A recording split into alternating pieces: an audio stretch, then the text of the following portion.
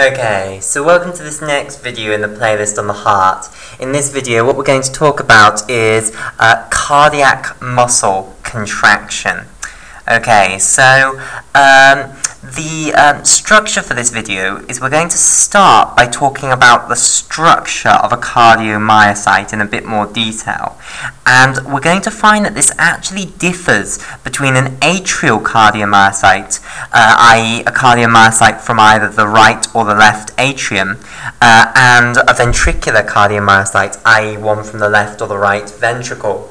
Okay, specifically, uh, atrial myocardiocytes aren't actually going to have T tubules, and that's going to affect their contraction quite a bit. Okay, uh, we're then going to talk about the excitation contraction coupling. So we're not going to go through the cardiac action potential. We'll just say, okay, the cardiac action potential leads to depolarization, and then uh, that causes the activation of this channel, etc., etc. Um, we um, we can't go through the cardiac action potential because it would just take too long. The video will get too long if we did that. So we'll look at um, excitation contraction coupling, we'll look at how we get calcium-induced calcium release from the type 2 ryanodine receptors. We'll then look at how that leads to contraction of the cardiomyocyte, uh, and we'll then see how the cardiomyocyte relaxes. Okay, so we'll start off with uh, the structure of a cardiomyocyte. So let's say we have our cardiomyocyte here. So, before I do anything else, but so this is the um, this is one of the edges of the cardiomyocyte. Before I do anything else, I need to tell you that the membrane of the cardiomyocyte is not just a flat thing. I'm not going to draw it like this. Instead, it has a load of deep invaginations into it. Okay?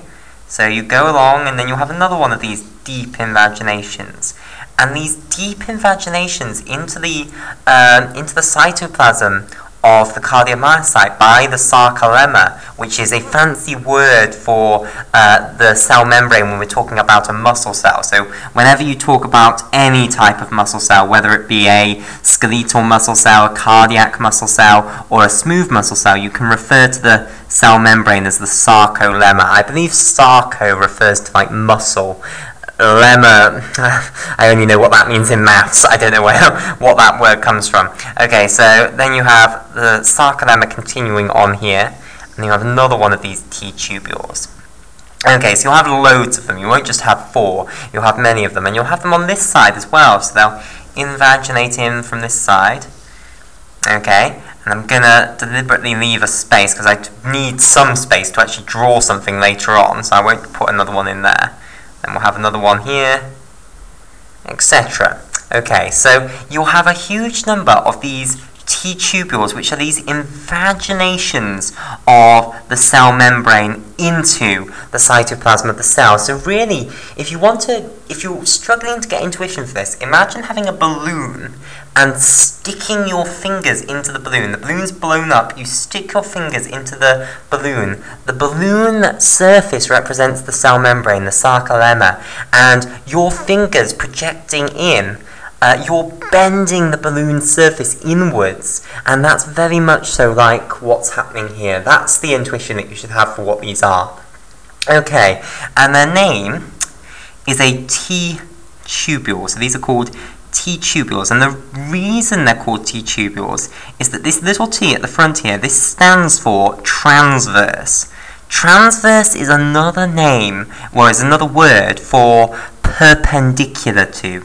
So basically the invagination, this tubule into, uh, deep, digging deep into the cytoplasm, this is transverse or orthogonal or perpendicular to the normal cell membrane, which is here basically. So you've got basically a 90 degrees angle there, which is why they're called transverse tubules, because they're at 90 degrees to the cell membrane.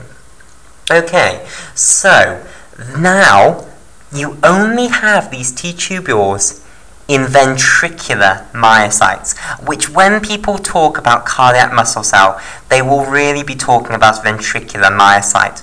Because if you go to certain animals, for instance, if you go to the turkey, uh, so you can do this experiment if you like. Uh, Christmas is coming, so you can do this experiment. If your turkey still has its heart when you're gutting it, you can do this experiment.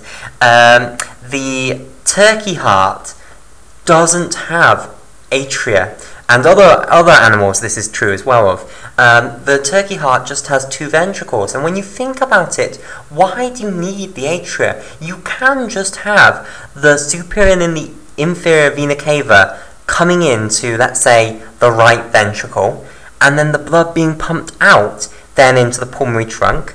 Blood comes back from the lungs, goes into the left ventricle, and is pumped out into the aorta. It works perfectly well. So the atria are not really that essential. If you if things go wrong with the atria, then yes, it's very very dangerous because if you get atrial fibrillations, for instance, you can get blood clotting within the atria, and when blood clots, that can lead to strokes if the if the blood clot is um, um, is um, moved up to the brain and blocks the arteries in the brain, then that will lead to stroke. So it's very, very dangerous if the atria don't function properly. But there are animals which don't have atria, and if you want to see that, if you don't believe me, uh, look at your turkey's heart this Christmas. Right, okay, so after that, uh, ventricular myocyte. So this is a ventricular myocyte because I've drawn it uh, with these T tubules. Now, if it was an atrial myocyte, atrial cardiomyocyte. In fact, it should be an, yeah, no, well, I've put the ventricular, so it's okay. I don't need to put ventricular cardiomyocyte. It's obvious when I put ventricular myocyte that I mean a muscle cell in the heart. Okay, if you have an atrial myocyte in contrast, so an atrial myocyte below, let's say, okay, I'm not going to draw this as thick because I don't want to waste paper, but if we have our atrial myocyte here, it won't have the T tubules, okay? So here's our atrial myocyte. In fact, actually, the atrial myocyte might be the ideal place to draw the next structures on because it doesn't have the T tubules getting in the way. Right, so the atrial myocyte doesn't have these T tubules. Now, we've discussed the T tubules. What other important structural features are there within cardiomyocytes? Well, there is the contractile machinery, the machinery that allows the cell to actually contract in length, which is obviously really important for its function. Now, if you look down the microscope, cardiac muscle is a type of striated muscle. So, cardiac muscle cells, both atrial and ventricular cardiac muscle cells, are what are known as striated muscle cells, i.e., they're like skeletal muscle rather than smooth muscle.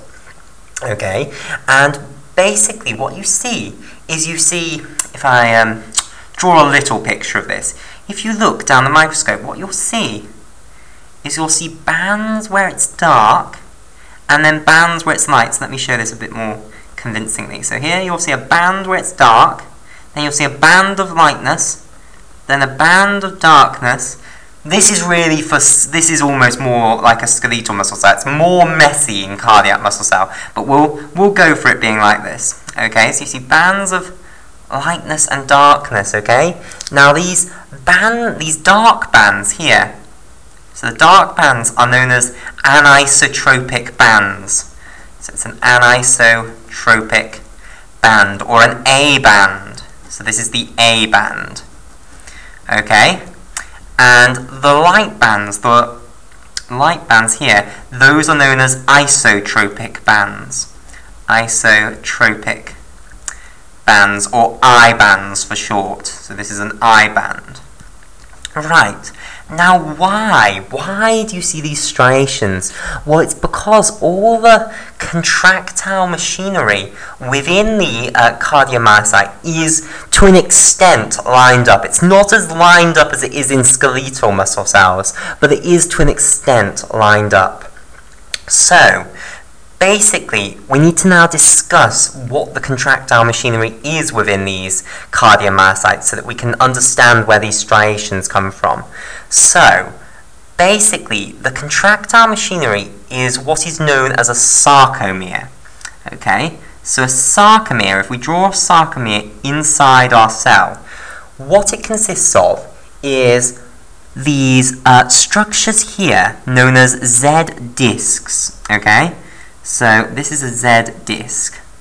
Right, and I need somewhere really to draw this larger because it's going to be awfully small if we draw it here. We'll draw it here. So basically, you might you might wonder why is it a Z disc when he's just drawn a line? Well, remember, even though I've drawn a box for our cardiac muscle cell, the cardiac muscle cell will actually be cylindrical. This is just a 2D section of it. It will actually be a, cylind a cylinder. And also, this little uh, line that I've drawn here will also be a little disc, basically, that will be in the same plane as um, a transverse section through the cardiomyocyte. So, basically, if I draw the cardiomyocyte in 3D here, so here is the cylindrical cardiomyocyte now drawn out here.